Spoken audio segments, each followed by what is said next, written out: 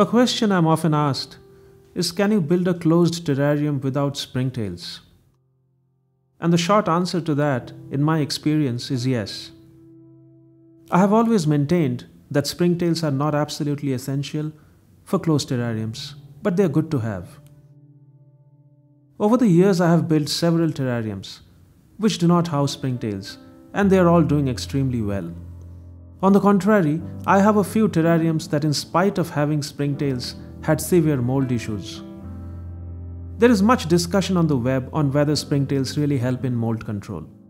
It is scientifically known that springtails commonly consume fungal hyphae and spores, as well as decaying plant or animal remains. They can be useful in preventing mold blooms. However, in my experience, they can be quite ineffective in the event of a severe mold outbreak. In fact, such a situation can end up killing and eradicating the entire existing springtails colony in a closed ecosystem.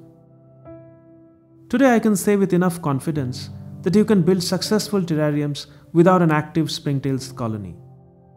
However, there are some steps that need to be taken to ensure that fungal spores are not accidentally introduced into the newly built setup. Here are some of the steps I strongly recommend. Clean the container thoroughly with dishwashing soap and water. Wash the false bottom gravel in boiling water.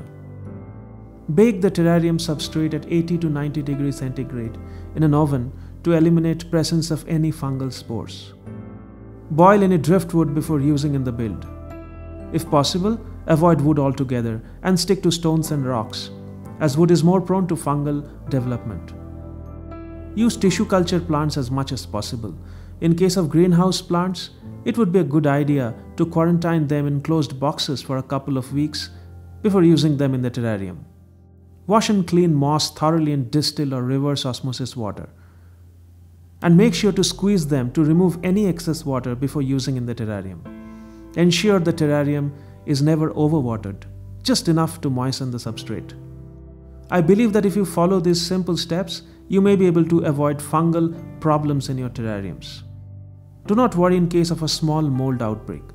They usually disappear on their own as the terrarium ecosystem stabilizes and gets established.